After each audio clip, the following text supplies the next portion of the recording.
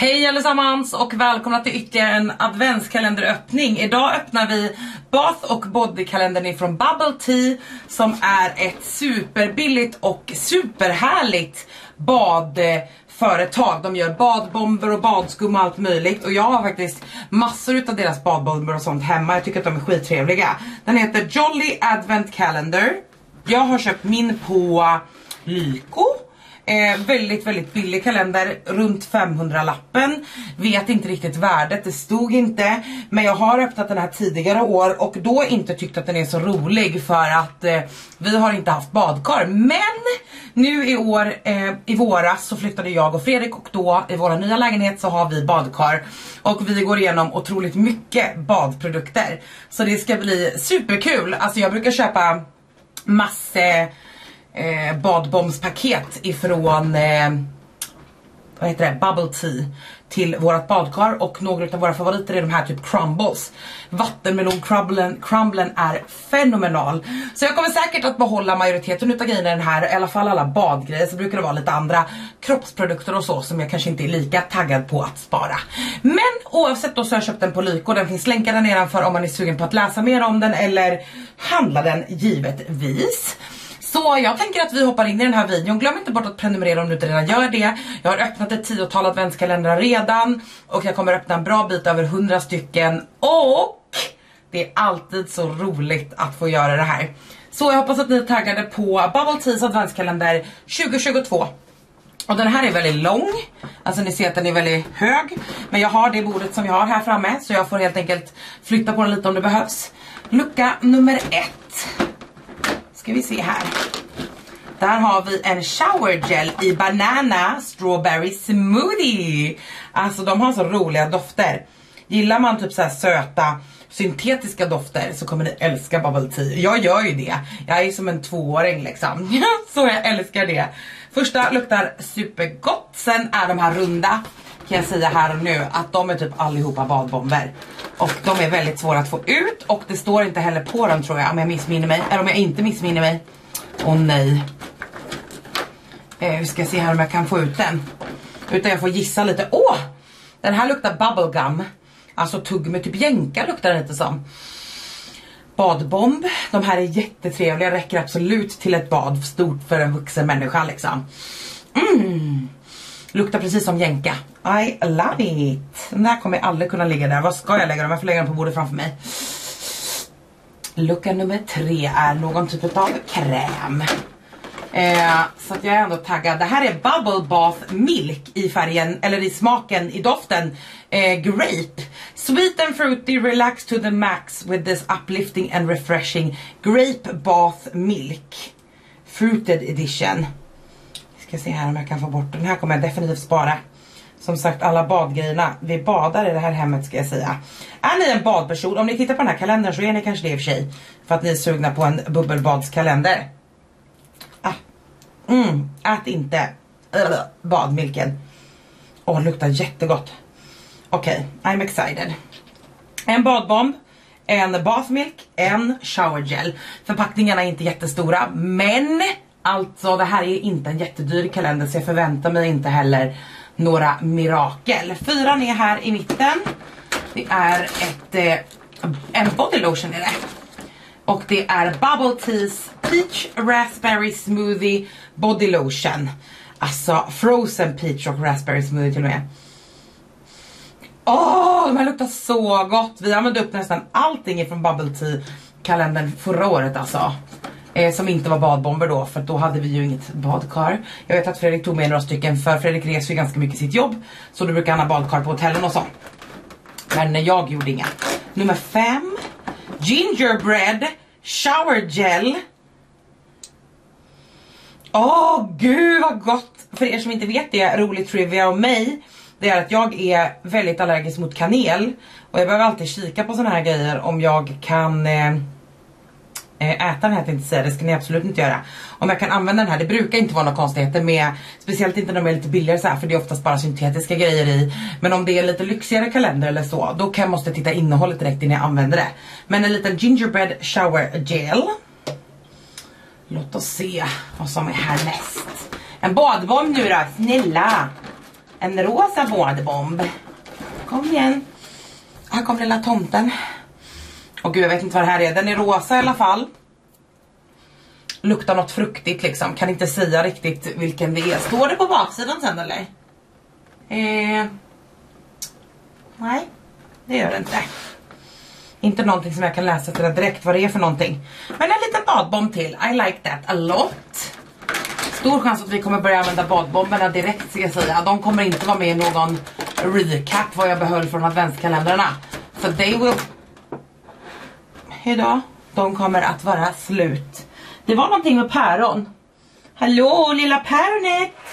Vad tog du vägen? Åh oh, hej och hå. Det här med att tappa saker på golven hörni. Det här är ah, Pear Bubble Bath Milk. Också en sån. Åh oh, gud vad gott den här luktar. Mm -mm. En bath milk alltså. Jag har aldrig testat någon bath milk just ifrån eh, Bubble Tea så jag kan inte svara på riktigt eh, vad det är mer. Jag antar att det blir alltså att det doftar gott och typ så i badet bara liksom. Gör lite roligare att bada. Sen har vi en till badbomb i lucka nummer 8, den är gul. Snälla banan. Jag köpte en eh, badbomb, sån här crumble i banan. Nej, det var något annat. Eh, och den var magisk och den säljs inte längre. Mm, blommigt kanske. Svårt att säga återigen. Men luktar gott. Luktar jättegott. Faktiskt. Åh nej, jag vet inte vad det var för lucka. Var det åtta eller? Jag tror att det var åtta. Vi hoppar vidare till nio. Ska vi se vad som är i. Där har vi också en bath och shower. Oh my fucking god. Den här, eh, de här höga kalendrarna, speciellt de höga kalendrarna som inte har någon vikt i sig. De är fan lustiga alltså. Berry Christmas Shower Gel. Oh, luktar också jättegott. Inte lika gott som de andra. Mer typ typiskt berry liksom. Nothing special. That's fine. Jag tror att många skulle tycka om den. Tappa nu inte mer på marken Margareta. Vad ska de tro? 10. Där har vi en Bubble Bath Milk igen. Jag får väl testa en sån här i... Eh, Helst att det står Do not drink or eat. Bath only. Okej. Okay. Eh, jag får väl testa en sån här. Det står bara att det är tea, tea expired, Alltså att det ska vara som en tepåse i. Jag får väl testa en sån här och återkomma innan jag lägger upp den här videon. För att jag har fått väldigt mycket kalendrar hemskickade idag så den här videon kommer nog inte på någon dag så jag hinner nog testa lite. Så skriv en fråga här nedanför så ska jag svara på den. Vad jag tyckte om de här bathmilksen. Eh, raspberry. Eh, för er som inte kan swinglish så är det hallon. 11. Där har vi Strawberry Milkshake Bath Shower Gel. Snälla. Jag kommer lukta som val för sjuåring efter den här säsongen. Fy fan vad gott att lukta. Vill ni ha väldigt goda luktade sådana här. De här skulle, den här kalendern skulle ju ett barn som älskar att bada och duscha äga alltså. Och jag är ju som ett barn. Så so that's fine. 12 då. Den var här under. En gul. Kom igen. Ja, oh, när luktar ändå det? Det här var inte samma som förra gula. Det luktar bara gott här inne. Jag kan inte säga vad de här doftar. Men två stycken gula. Ja, vad roligt. Detta. Nu är vi halvvägs ungefär då. Lite mer än halvvägs faktiskt. Förra var halvvägs. Det här är Intense Blueberry Dragon Fruit Bath och Shower Gel. Är inte... Åh gud, den luktade väldigt fräscht och härligt. Inte lika söt och sliskig som de andra. I like it. Allott, jag vet inte vad det var jag skulle säga. 13 eller vad det där. 14 har vi en till badbomb. Åh, oh, den här, den här har jag haft nyligen. Jag badade bara med den här häromdagen. Undrar vad det här är för någonting. Det är i alla fall också något berry. Något eh, jordgubbe, hallon, någonting sånt. Som sagt, jag önskade mig mycket badbomber. Så jag hoppas på det. Jag kan inte knappt vänta på Lush alltså. Lush har ju varit jätteroligt flera år i rad. Men eftersom vi inte har haft badkar så har det ju varit mycket potential som har försvunnit. Men i år är jag så jävla taggad på den. verkligen. 15.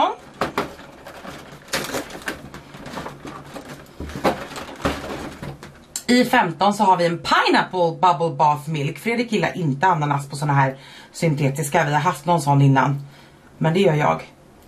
Mm. Luktar jättegott ananas. De här basmixen, jag hoppas att de är bra. För i sådana fall har vi ju väldigt många bad här framför oss. Som kommer bli härliga. 16. En till lila. Om den första luktade... Den första luktade ju typ jänka. Den här luktar mer viol kanske. Ja. Viol skulle jag säga att det här var. 16. Jättefin färg också. I like that. Gud, hur ska jag kunna välja till kvällsbadet sen? 17. Oh, bubble bath är det här. Inte en sån bubble milk. Det här är bubble bath. Det är sleep, lavendel och lemon. Calming bubble bath. Här kommer Fredrik att gilla. Jag är inte så jättemycket för lavendel. Men eh, Fredrik är. Jag undrar om en sån här räcker till ett bad eller två bad. Det står bara pour a generous amount under warm running water to create gorgeous bubbles.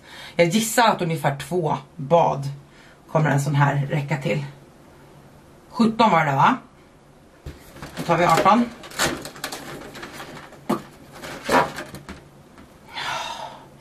En till rosa, de är lite olika rosa allihopa. Den här luktar också du vet klassiskt typ fruktigt av någonting. Men jag kan inte säga mer än så. Eh, älskar.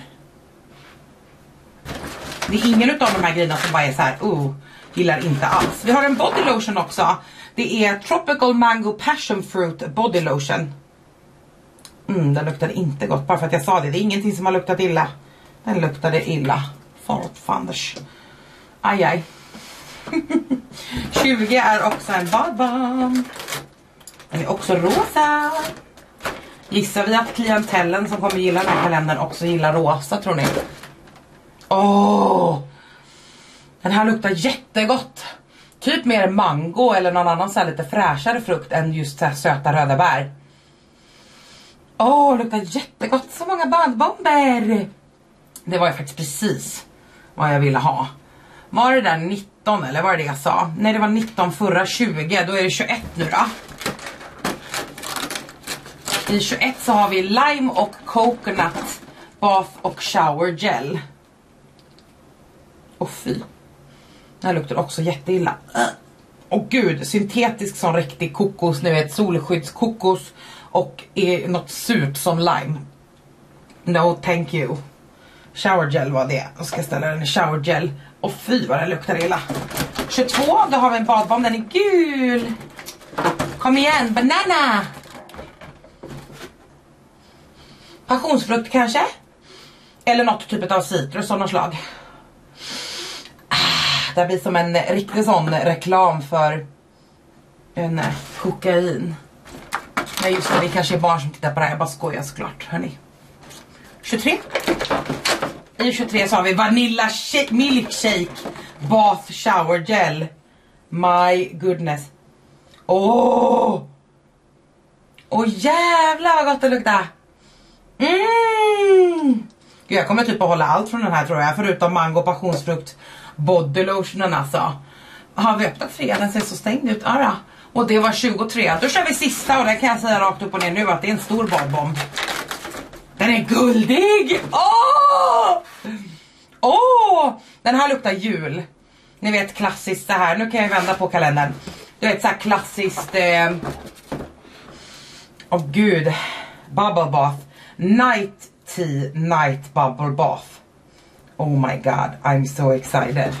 Det är de olika dofterna då på de här eh, bathfissersarna, alltså badbomberna är Grape, Raspberry, Pineapple, Pear, Watermelon, Strawberry, Sweet Tea, Rainbow, Gingerbread. Det måste vara den här för den är större än de andra. Så jag hade fel. Det här är Gingerbread. Luktar gott på det. Eh, var det någon annan doftfråga jag hade? Nej det var det nog inte. Skitrolig kalender. Alltså om ni badar eller har barn som badar eller kusiner eller någonting. Köp den här då. Alltså jag älskar Bubble Teas badgrejer. Alltså vi köper dem hela tiden utanför kalendrarna. En stor chans ärligt talat. Alltså bara så här många badbomber fick vi. Vänta. Oj oj oj, ah, ni har ju sett det, eller ni ser ju här en insert. Men kolla så mycket bara badbomber. En hel näve och det är fan dyrt alltså. Fyra stycken såna här bubble bath milk och, och eh, nej fem stycken såna. Det är fan bra, det är många bad framöver. Så gillar ungarna att bada, eller du själv för den delen, no shame in that. Köp den här kalendern då kan jag säga direkt. För jag menar typ Lush adventskalender och sånt, visst det är någonting helt annat. Men de är också ganska mycket dyrare än vad en sån här kalender kostar. So I like that. Jag gillar den här jättemycket. Den här får full poäng för mig. Jag hade inte ändrat någonting tror jag. Ja möjligtvis att jag hade tagit lite mindre shower gels. Men ärligt talat, det här är ju verkligen en badkalender. Och det, jag tror att det ändå är en ganska rolig mix. Måste jag säga. Och dofterna är jätteroliga. So I really like that. Tack för att ni kikade på dagens video hörni. Glöm inte bort att eh, prenumerera om ni inte redan gör det. Jag kommer att öppna jättemånga fler kalendrar. Gillar du den här så kommer du definitivt gilla Lars kalendern och så. Så skitkul! Så glöm inte bort att prenumerera som sagt. Så syns vi igen i min nästa video. Hejdå!